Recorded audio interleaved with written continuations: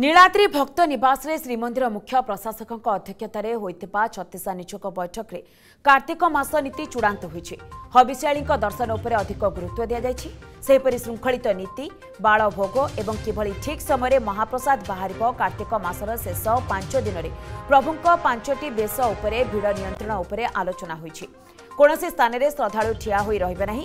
ଅଠେଇଶ ତାରିଖରେ ହେବାକୁ ଥିବା ଖଣ୍ଡଗ୍ରାସ ଚନ୍ଦ୍ରଗ୍ରହଣ ପାଇଁ ସ୍ୱତନ୍ତ୍ର ନୀତି ନିର୍ଘଣ୍ଟ ହୋଇଛି।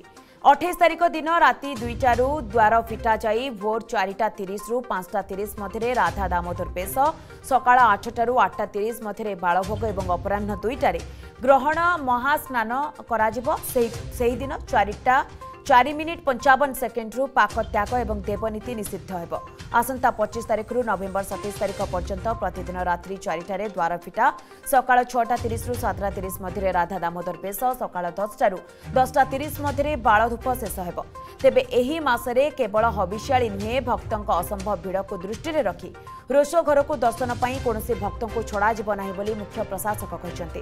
ବୈଠକରେ ଶାଳୀନତାପୂର୍ବକ ପୋଷାକ ପରିଧାନ ଉପରେ ସବୁ ନିଯୋଗ ସହାୟତା କରିବା ପାଇଁ ପ୍ରତିଶ୍ରୁତି ଦେଇଛନ୍ତି।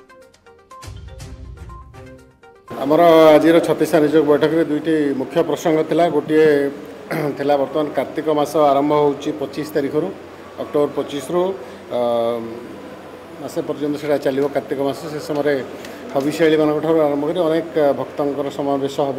ତେଣୁ ସେଥିପାଇଁ ଶ୍ରୀମନ୍ଦିର ଭିତରେ ନୀତି ଶୃଙ୍ଖଳିତ କରିବା ପାଇଁ ସବୁ ନିଯୋଗକୁ ଆମେ ଅନୁରୋଧ କରିଥିଲୁ ଏବଂ ସମସ୍ତେ ମଧ୍ୟ ତାକୁ ଗ୍ରହଣ କରିଛନ୍ତି।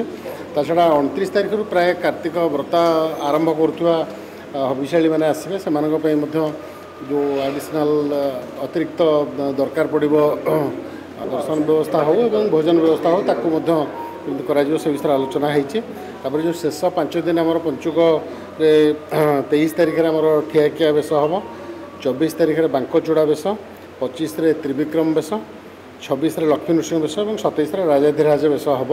ଏଗୁଡ଼ିକ ସ୍ୱତନ୍ତ୍ର ନୀତି ହେଇଥିବାରୁ ସେ ମଧ୍ୟ ଆହୁରି ଅତିରିକ୍ତ ଭକ୍ତମାନଙ୍କର ଆଗମନ ହେବାର ସମ୍ଭାବନା ଅଛି। ସେସବୁକୁ ଆଖି ଆଗରେ ରଖିକି ଆମର ମନ୍ଦିର ଭିତରେ କେମିତି ଭକ୍ତମାନ ବେଶୀ ସମୟ ଜମିକି ନ ରହିବେ ତାଙ୍କର ଫ୍ଲୋ କେମିତି ମେଣ୍ଟେନ୍ କରାଯିବ ସେଥିପାଇଁ ମଧ୍ୟ ଆମର ଯେଉଁମାନେ ଟେମ୍ପଲ୍ ସୁପରଭାଇଜର୍ ବା କମାଣ୍ଡର୍ ଅଛନ୍ତି ତାଙ୍କୁ ଷ୍ଟ୍ରେଙ୍ଗଦେନ୍ କରିବା ପାଇଁ ମଧ୍ୟ ଆମେ ଗୁଡ଼ିଏ ପ୍ରସ୍ତାବ ପାଇଛୁ ଏବଂ ସେମାନଙ୍କୁ ମଧ୍ୟ ସେ ଦିଗରେ ସହଯୋଗ କରାଯିବ। ଯଦି ଆପଣଙ୍କୁ ଆମ ଭିଡ଼ିଓଟି ଭଲ ଲାଗିଲା ତେବେ ଆମ ଚ୍ୟାନେଲକୁ ଲାଇକ୍ ସେୟାର ଆଉ ସବସ୍କ୍ରାଇବ୍ କରିବାକୁ ଜମା ବି ଭୁଲନ୍ତୁ ନାହିଁ।